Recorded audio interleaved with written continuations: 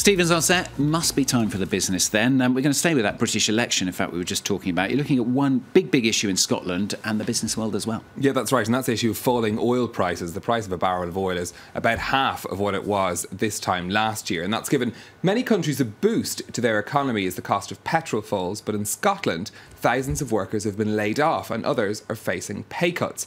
Now, Aberdeen, in the north of the country, is the UK's hub of oil, the oil industry. Our correspondents Lucy Fielder and Hervé Emerick have been there to find out how people have been affected. Over the last year, the downturn in the oil industry has dealt a blow to Scotland's economy, particularly here on Aberdeen's harbour. These ships run supplies to oil rigs in the North Sea. Contractors have seen a sharp drop in business. There's fewer vessels working at Aberdeen now or if there are vessels here, they don't have jobs to go on, so that has affected us. This shipping company remains busy supplying the Scottish Islands, but its energy clients are cutting costs. The oil and gas industry has laid off 4,000 employees within the last year. It's very nervous. Uh, people are getting laid off and paid off every week in different companies. The sector is the UK's largest industrial investor, employing almost half a million people.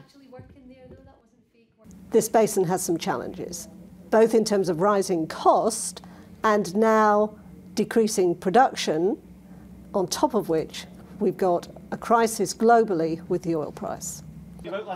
For the best part of three decades, Frank Doran has represented energy workers as a union official and Member of Parliament. He's retiring at a challenging time for Scottish Oil.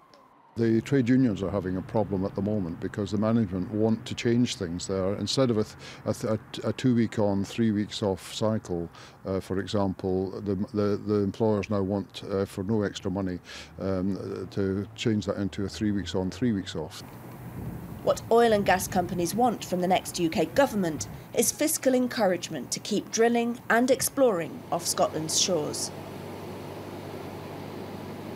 our team there in the UK. Now, deal or no deal is the question for you. We must be talking about Greece and its debts again. And the answer is no deal for now, at least if you're listening to the Greeks. That's a, they say there won't be a deal unless their international lenders compromise on some of the demands they're making about economic reforms.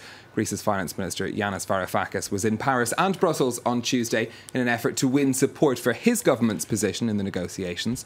Greece is trying to unlock the last 7.2 billion euros of its bailout loans. It's quickly running out of cash, though, and is due to pay more than 750 million euros to the International Monetary Fund next week. The payment that was due uh, in the past couple of days, though, has been made. We have confirmation of that from the IMF today. Mr. Varoufakis saying he doesn't expect any agreement, though, at Monday's meeting of Eurozone finance ministers. Markets time then, Stephen. What's happening?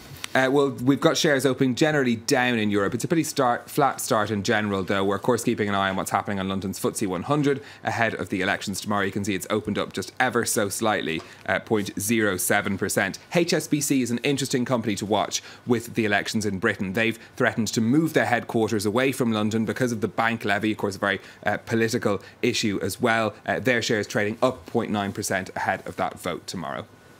We'll move on next with a look at some of the day's other business stories. And shares in the French bank Societe Generale have opened down 4% in Paris. That's despite the lender reporting a net profit that's five times higher than the first three months of last year. The 868 million euro figure is despite the losses that Societe Generale saw of 90 million euros at its Russian operations. The French engineering company Alstom says it's registered a record 10 billion euros worth of new orders in the year to the end of March. That's up 60% on last year. Alstom's in the middle of selling its electricity turbines business to GE, a 12.3 billion euro deal that the company says should be finalised in the coming months. Its shares are open up 1% here in Paris. And Frozen has kept the heat on Disney's earnings yet again. Sales of merchandise connected to the film were 10 times higher in the first quarter of 2015 when compared to last year. Profits overall at Walt Disney rose by 10% over the period to $2.1 billion. 10 times higher is incredible. One incredible figure to some more incredible figures. Um, new figures on salaries at Apple throwing up some very interesting results. Yeah, and this is all to do with one particular person at Apple, and her name is Angela Ahrendts. Now, according to Bloomberg, she was paid nearly $83 million last year. That's nearly 10 million more than we'd thought uh, in previous official documents. Now, she's in charge of operating and expanding Apple's online and physical stores. She was the chief executive of the British luxury brand Burberry before, where she was the highest paid CEO of publicly traded British companies. Uh, but what's interesting about this is that since she's moved to Apple, compared to Tim Cook, the chief executive, he gets paid 9.2 million and she gets nearly Wow. 83. Now, uh, she the reason that Apple says that she's paid so much is partly because she was paid so much in her previous job, Hmm. uh, and there's also a signing bonus involved in her moving to Apple last Mm-hmm. year. Uh, and of course, they say it, that coupled with her experience and extraordinary ability is why they're paying her so much. Okay, I wonder if she's worth it. I must admit, I wish that would happen to me. You know, that they would suddenly pay me 10 million more than was If that happens, previously you'll let us know, disclosed. yeah, if that happens, you'll know because I won't be here, Stephen. I love it, really. Stephen Carroll, Business on France 24.